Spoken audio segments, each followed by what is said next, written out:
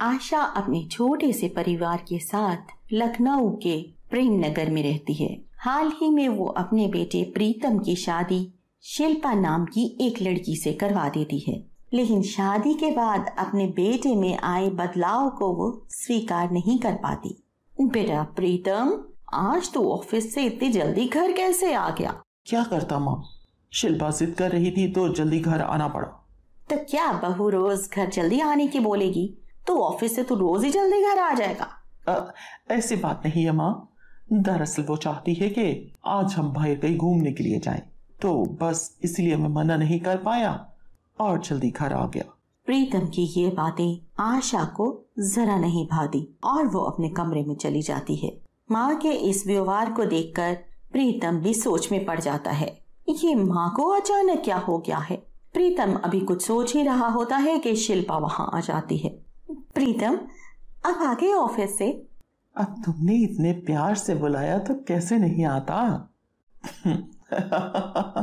हम्म तो प्रीतम साहब आज हम डिनर भी बाहर ही करेंगे।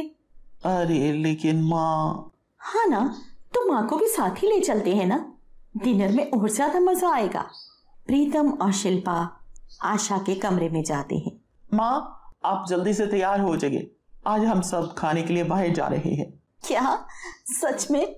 तुम लोग मुझे भी अपने साथ लेकर बाहर जा रहे हो? तो और क्या? हम लोग आपके बिना कहीं जा सकते हैं क्या? चलिए ना मम्मी जी। अब जल्दी से फटाफट तैयार हो जाइए ना आप। आशा झट से तैयार होकर शिल्पा और प्रीतम के साथ खाना खाने के लिए चल पड़ती है। तीनों खाना खाने के लिए बाहर निकल पड़ते हैं जहाँ रास्ते में शिल्पा प्रीतम का हाथ थाम कर चलने लगती है। अपने बेटे और बहू को इस तरह साथ चलता देख आशा अपने बेटे और बहू को टोकती है। अरे, ये हाथों में हाथ डालकर क्यों चल रहे हो तुम दोनों? ये तुम्हारा बेडरूम नहीं है। हमारा गली मोहल्ला है, जहाँ लोग एक चीज़ देखते हैं और चार बात बोलते हैं। आप भी न मम्मी। अरे शिल्पा, मेरी बीवी है। उसका हाथ नहीं पकड़ूँगा तो और किसका हाथ पकड़ूँगा? और फिर लोगों को क्या मसला? उनके बारे में सोचना ही क्यों है? हाँ हाँ।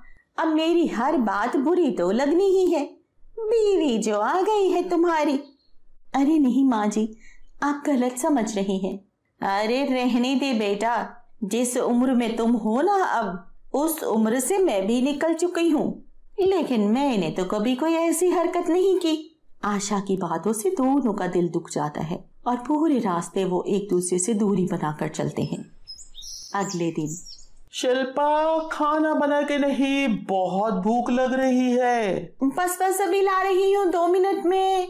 अरे बहू जल्दी कर भूख लग रही है। मेरे बेटे को ऑफ़िस के लिए लेट भी हो रहा है।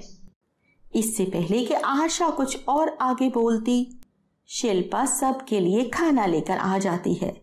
सॉरी, आज तुम्हें ऑफ़िस के लिए देरी हो गई। मैं ना दरअसल तुम्हारी पसंद की पाव भाजी बना रही थी। वो आज से पहले मैंने कभी बनाई नहीं ना, इसलिए थोड़ा टाइम लग गया। अरे, एक पाव भाजी बनाने में तूने इतने घंटे लगा दिए। अरे, मुझसे कह दिया होता, मैं बना देती अपने बच्चे के लिए पाव भाजी। वैसे भी ना प्रीतम को मेरे हाथ की पाव भाजी पसंद है। किसी और की बनाई हुई पाव भाजी को तो वो दिखता तक नहीं है।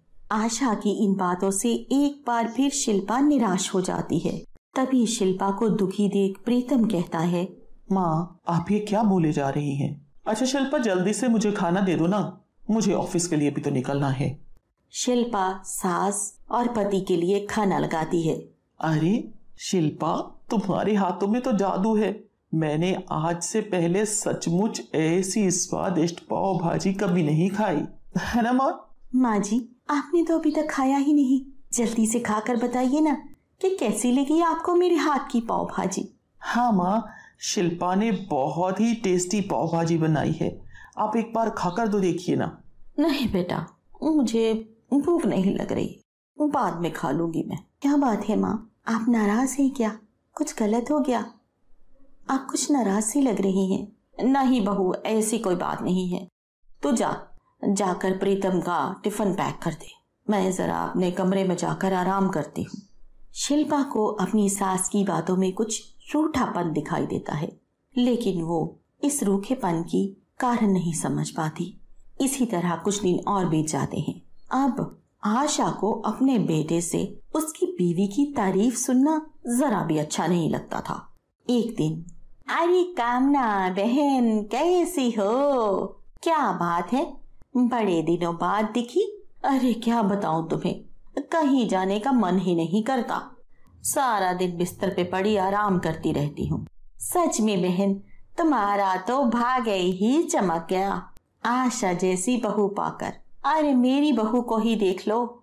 बिस्तर तो छोड़ो, सोफे पर भी चैन से नहीं बैठने देती। आशा और जमुना बात कर ही रहे होते है कि तभी वहाँ पर शिल्पा भी आ जाती है। वो पीछे खड़ी होकर उनकी बातें सुनने लग जाती है। हाँ इस मामले में तो मेरी बहू बहुत अच्छी है पर पर क्या? कोई बात है क्या? और तू इतनी दुखी क्यों लग रही है? आगे क्या हुआ? ये देखेंगे हम कहानी के दूसरे भाग में। दोस्तों आज मैं आपके लिए एक सुतेली माँ और बहुत प्यार करने वाली बेटी की कहानी लेकर आई हूँ। लेकिन कहानी सुनने से पहले, अगर आप हमारे चैनल पर न्यू हैं तो चैनल को सब्सक्राइब ज़रूर कर लीजिएगा। गंगापुर गाँव में अजय रहता था। उसकी पत्नी विमला बीमारी की वजह से मर गई थी। उसकी छोटी बेटी लक्ष्मी का देखभाल करना राम के लिए मुश्किल हो गया था। लक्ष्मी को माँ की ममता की ज़रूरत थी। इसलिए वो कमला से दूसरी शादी करके उसे घर ले आता है। तब लक्ष्मी राम से पूछती है पापा ये कौन है? मैं तुम्हारी माँ हूँ। बेटी, तुम्हारी देखभाल के लिए तुम्हारे पापा मुझे लेकर आए हैं। आज से तुम्हारी ज़िम्मेदारी मेरी। आप मेरी अच्छी देखभाल करोगी। बहुत अच्छी देखभाल करूँगी। तुम्हें जो चाहिए, वो दिलाऊँगी। और सब घर में ही बनाकर खिलाऊँगी। हमेशा खुश रखूँगी। पापा मुझे ये माँ बहुत पसंद आई। हाँ बेटा मुझे तुम्हारी खुशी ही चाहिए। बिन माँ की बच्ची है कमला अब से इसकी ज़िम्मेदारी तुम्हारी। आप चिंता मत कीजिए अपनी सगी औलाद की तरह देखभाल करूँगी। मेरे लिए ये बात काफ़ी है। कमला और राम ने आरमानी को जन्म दिया। लक्ष्मी कोई भी गलती करती, कमला उसको डांटती और गुस्सा दिखाने लगती। दोनों के दरमियान प्यार कम होता जा रहा था। ये डफर कहीं दिखाई नहीं दे रही है। अभी तक नहीं उठी क्या? तो देखा, लक्ष्मी फर्श पर सोए हुए माँ माँ पुकार रही थी। ए भगवान, अभी तक सो रही हो? उठो, घर का सारा काम कौन करेगा? उठो, पहले जाके दूध उबालो। आरमानी को दूध चाहिए। अब वो रोने लगेगी। उठो।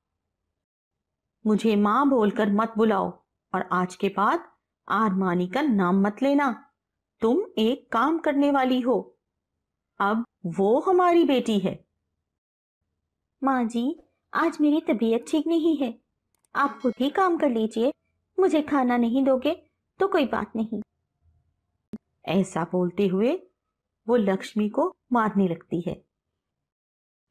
मत मारिए माँ जी, मैं बीमार हूँ।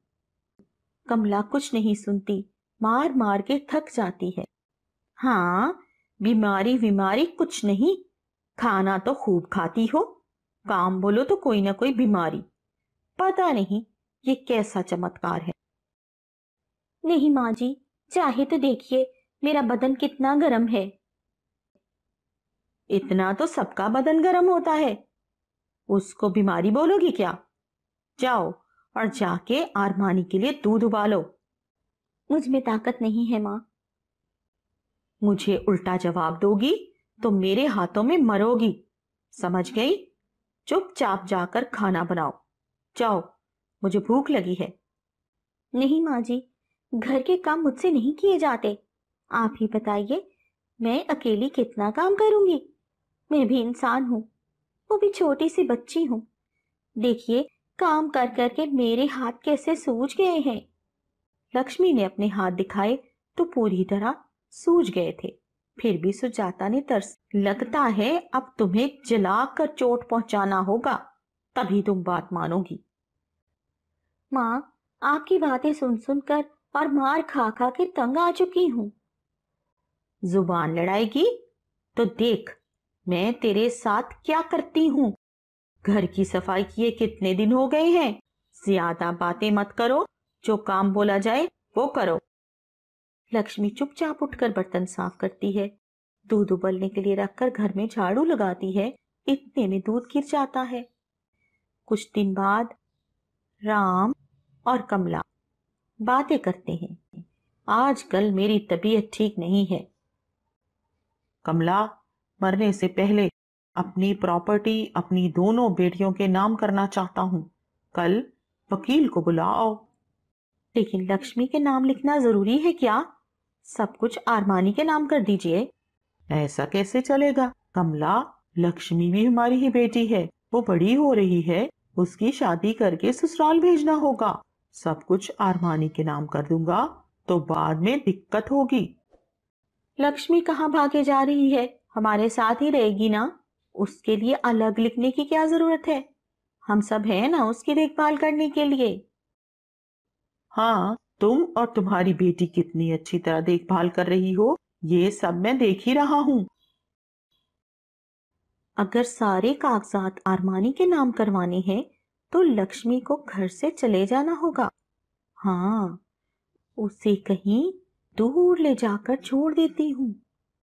ऐसा सोचकर वो लक्ष्मी को रेलगाड़ी के पास बीच रास्ते में ले जाती है।